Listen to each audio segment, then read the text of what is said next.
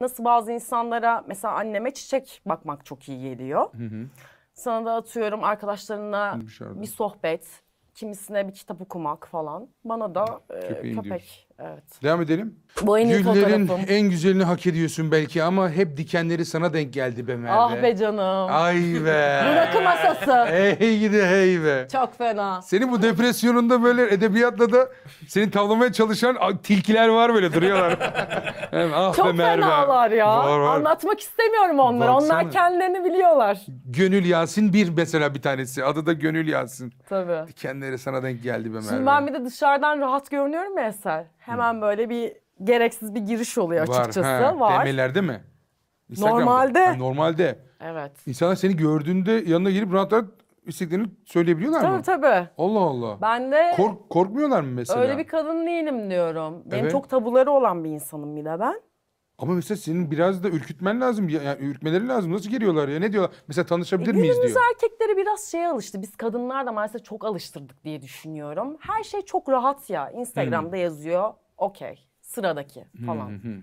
Böyle bir maalesef e, toplum olduk bence. direkt- Bizim dönem öyle. Kabul Evet. edelim. Annelerimizin, babalarımızın evliliği çok fazla yok yani. Senin evin çok güzel gidiyor maşallah ama genel anlamda bir yozlaşma söz konusu. Ben de e, genelde zaten bunu ciddiye döken bir insanım. Çok sevmiyorum öyle flört falan çok bana göre değil. Hmm. Evet öyle şey ama ben mesela Bir de ben çok sadığımdır gelip- falan yani. Evet evet işte ben gelip rahat konuşmalarına şaşırdım açıkçası. Evet. Devam et. Seni çok iyi anlıyorum. Ah, Boş ver. Evet.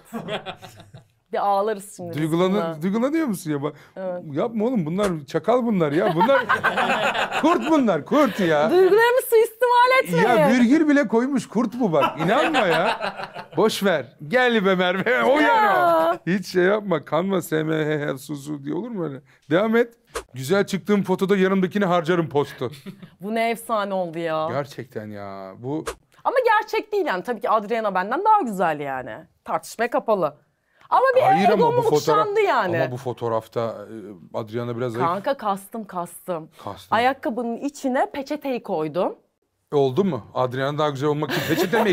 bir peçete mi uzatmışsın ona Şöyle yani? Hmm. kadın çok uzun. Yani kaç bilmiyorum bir 80 falan vardır rahat. Bacak eee, şu kadar falan. Sonra dudağı aldım iyice büyüttüm.